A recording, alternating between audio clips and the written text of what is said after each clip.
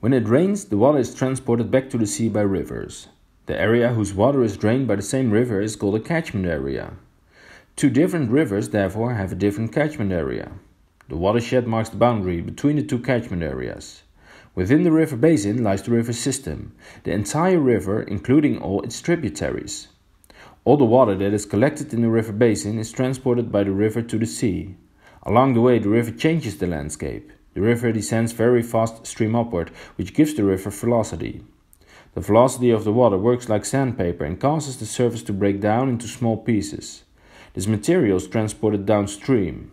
When the surface falls apart into smaller pieces and the material is transported, it is called erosion. This too is an exogenous force that changes the landscape. Wind, ice, and the sea can also erode and transport surface material by the power. In contrast to weathering, erosion therefore involves breaking down the landscape due to the movement of water, wind, or ice and the materials transported. Beautiful landscapes can arise through erosion. For example, think of the Grand Canyon, a large gorge that is created because the Colorado River cuts further into the landscape. Many other gorges, such as the Gorges du Verdon in France, were created in the same way. Both are examples of a V shaped valley. Glaciers can cause erosion in similar ways. High down from the mountains, they flow down slowly, but with enormous power. The valleys formed by glaciers often have a flatter pattern, which means they are called U shaped valleys.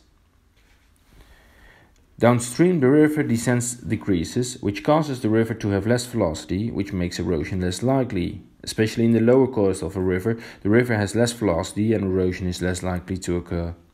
The speed of the water flow decreases, which causes the eroded material to sink to the bottom. This process of sinking is called sedimentation. Compare this with fruit juice. When the bottle has stood still for a while, you see the heavier ingredients sink to the bottom. To mix all ingredients, you often have to shake before use. Sedimentation is important for countries which are close to the sea, like the Netherlands. This country is made up by a huge layer of sediment that is eroded upstream.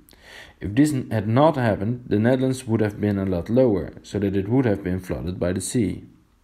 Because the rivers in the lower regions of the river often split into all kinds of branches, we call this the river delta.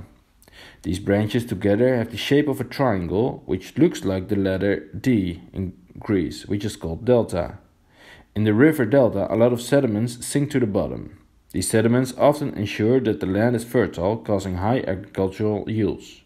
So erosion tears down the landscape in the upper reaches of the river, while sedimentation builds the land in the lower reaches of the river.